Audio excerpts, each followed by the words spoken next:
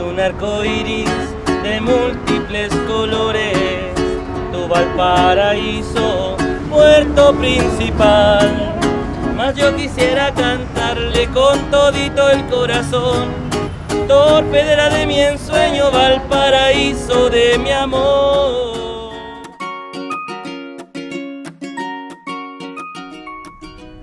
Este es uno de los sectores más característicos de Valparaíso. Se le conoce como el barrio puerto. Acá hay muchos restaurantes donde venden pescados y mariscos. Se pasa muy bien y se come exquisito, pero el olor, uff, no es muy rico. Hay muchos restos de verdura, fruta y pescados apiladas en las calles, pudriéndose al sol y en espera de que pase el camión de la basura. Por eso, algo tenemos que hacer.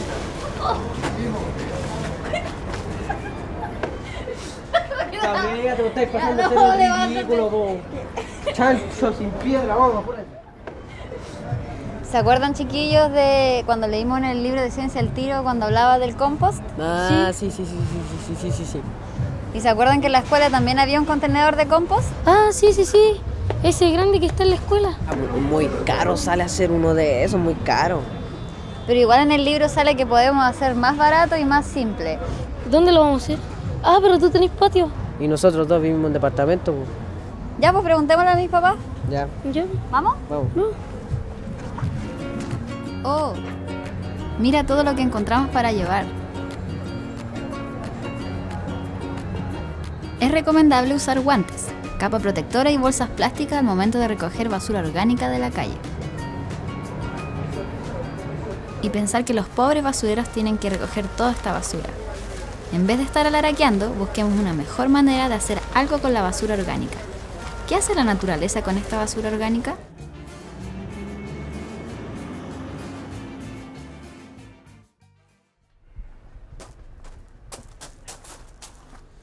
Chiquillos, mis papás dijeron que podíamos poner el compost acá abajo del durazno. Pero aquí lado.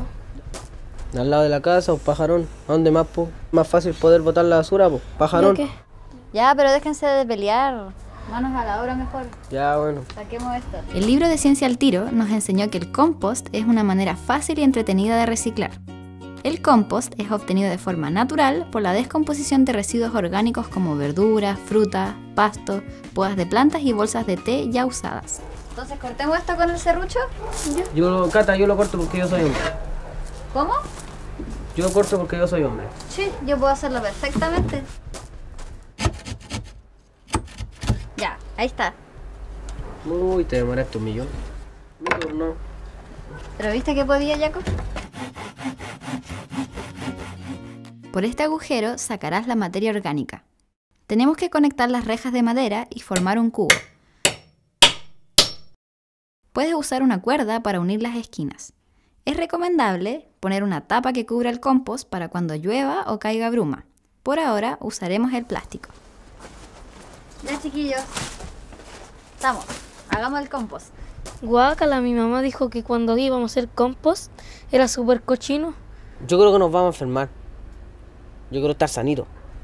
Para poder ir a bailar, un perro intenso está abajo de bailar, así un perro intenso, no, no, quiero, no me quiero enfermar con esto. Tenemos que puro lavarnos las manos y ocupar guantes. Ah, ya, ya. Soy exagerado. Ya.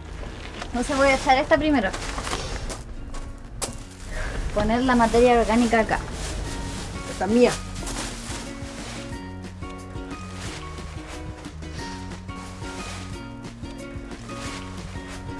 Aparte de los desechos orgánicos, también puedes agregar los del jardín y de la cocina.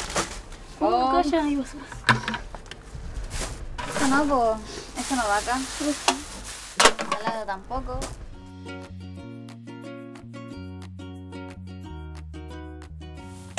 Pero ojo, para no atraer animales, nunca debes agregar leche, yogur, carnes, restos de pescado y de conchas, aceites, mantequilla, huevos, marisco, queso o quesillo.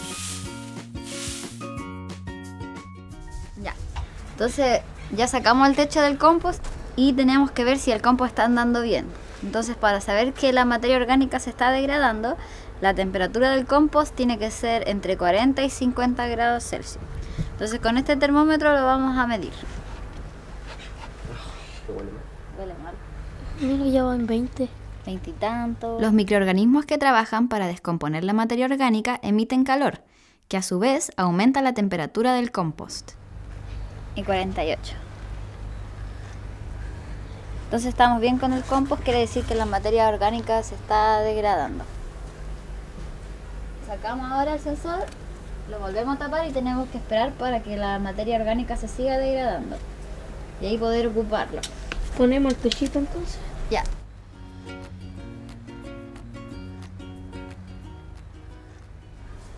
Ya chiquillos, ya pasó como más de un mes desde que hicimos el compost. Ay, lombrices. Oh, Uy, también hay chanchito de tierra. Cuidado que muerden. Tienen así los meos dientes. Ah, ¿dónde la viste? No tienen dientes, mira. Mira, no muerden, mira, mira. Y ya como les tiene bien. ¿Te da miedo?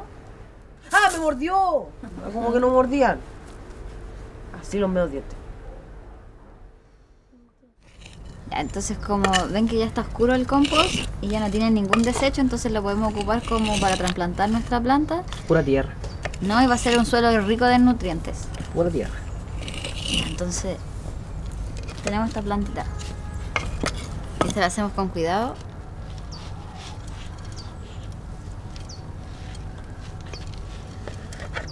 Las lombrices son vitales para la salud de los suelos.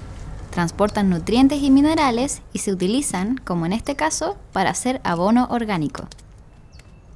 ¿Cómo sería el mundo sin lombrices que descompongan la basura?